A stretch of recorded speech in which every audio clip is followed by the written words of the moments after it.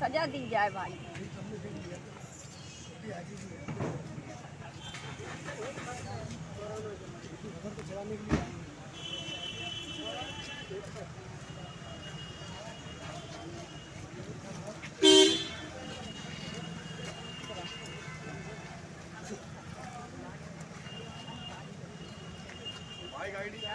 Phone कर दे उसको phone कर दे। भाई गाड़ी निकालना है क्या? तुम ही निकाल।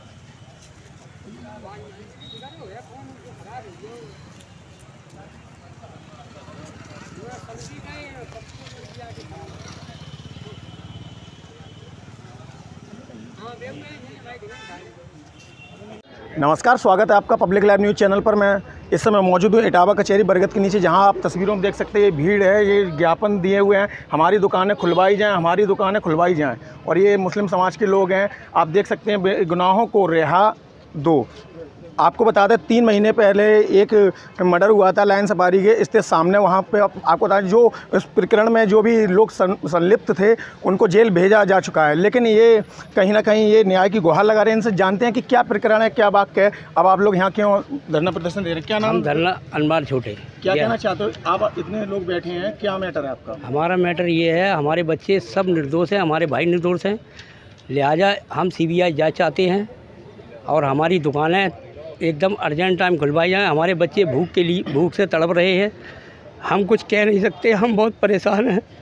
करीब साढ़े तीन महीने हो गए हमको भागते भागते। हमारे पीछे जो लोग पड़े हैं बुरी तरह, प्रशासन प्रशासन हमारे लिए कुछ जल्द से जल्द नहीं कर रहा है। हम बहुत इस समय परेशान हैं। हम सीबीआई जाँच चाहते हैं, सही इंसाफ चाहते हैं, जो दोषी है, उसको सज़ा दीजिए, जो निर्दोष है, उसको रिहा कीजिए। हमारी सिर्फ़ इतनी मांगे हैं। और आप लोग देख लीजिए कि हमारे ये सब परिवार के लोग बैठे हुए हैं, जितने लोग हैं, जितने भी जेल में गए हुए हैं, सबके परिवार के लोग बैठे हुए हैं, सब भूख से तड़प रहे हैं।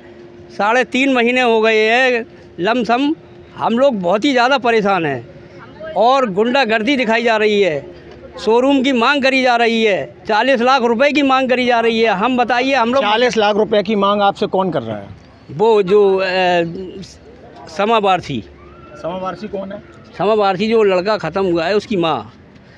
जी। आपसे मांग कर रहे हैं? हाँ हम लोगों से सबसे मांग कर रहे हैं। पब्लिक लाइव न्यूज़ चैनल के माध्यम से उत्तर प्रदेश के मुख्यमंत्री से क्या गुहार लगाना चाह रहे हो आप लोग? हम ये गुहार लगाना चाहिए इंसाफ चाहिए मुझे।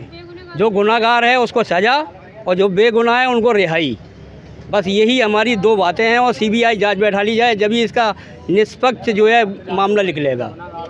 जैसा कि आपने देखा था हमारे साथ जो बातचीत कर रहे थे वो मुस्लिम समाज के लोग हैं। इनका साफ़ तौर से यही कहना है कि बेगुनाहों को रिहा करें और दोषी को सजा दें। सीबीआई जाँच की भी मांग करें यहाँ पे और भी लोग हैं उनसे हम बात करते हैं। क्या नाम है भैया आपका? अरशद अली। क्या कहना चाहते हो आप? इनके साथ में मैं यही कहना चाहता हूँ कि सीबीआई जाँच की जाए और जो बेगुनाह है उन्हें रिहा किया जाए दोषी उन्हें सज़ा दी जाए। क्योंकि तीन महीने लगभग हो गए हैं दुकानें बंद हैं। हम लोग बहुत ज़्यादा परेशान हैं। इस समय इतनी बड़ी फैमिली है, कैसे, क्या, कहाँ से खर्चा चलाएँ कारखाने में मज़दूर भी हैं मेरे, मज़दूरों का खर्चा हम कैसे निकालें? हमसे शोरूम की मांग वाला है है, उसको सजा दी जाए भाई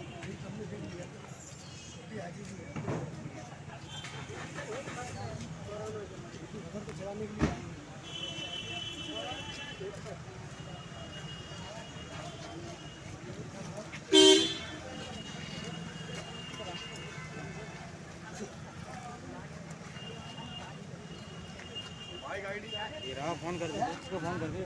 भाई गाड़ी निकाल रही क्या? तुम ही निकाल